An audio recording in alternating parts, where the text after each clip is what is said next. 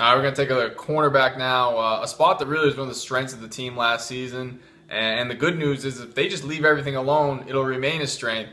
Uh, the biggest question is, will they leave things alone? Because uh, Dominique Rodgers-Cromartie uh, has a big $8.5 million cap hit uh, in 2017. Might be a guy that they could think about trying to save some money there uh, and make him a cap casualty. Now, I know fans hate to hear that, but it's the financial reality. He's the number three cornerback on this team. He's supremely valuable. We all know that. Everyone saw what happened in the playoff game against the Packers. DRC goes out early, and Aaron Rodgers just locked in on whoever took his spot in the slot, whether it was Coty Sensabaugh, Trevin Wade, uh, and really abused them.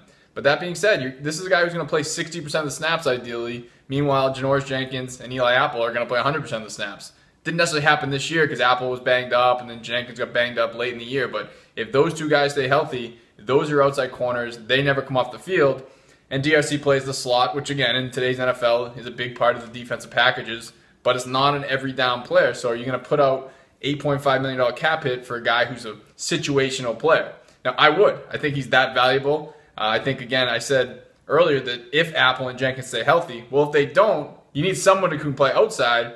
And DRC certainly did that. I mean, for as good a year as he had this year, and he did a lot of it in the slot, he was at his best when Apple was out or when Jenkins was out and he was able to be back in his comfortable spot outside. So uh, super valuable to have him as a backup option to those two guys. The fact that he is signed, you don't have to do anything, just bring him back. That's the way I would go.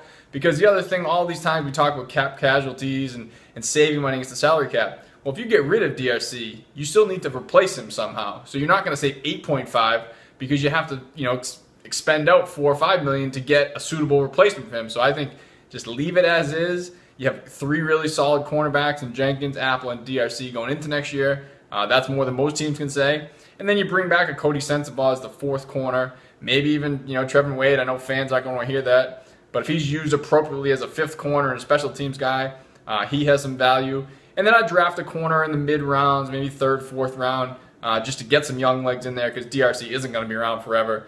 Uh, so that's the way I would approach it. I know fans don't even want to hear about it. Uh, but I think DRC should be back, but we'll wait and see because that $8.5 million is eating a lot of the cap. Uh, so we'll see how Jerry Reese thinks about it. I know how I think, and I know how the fans think, so we'll see how it plays out.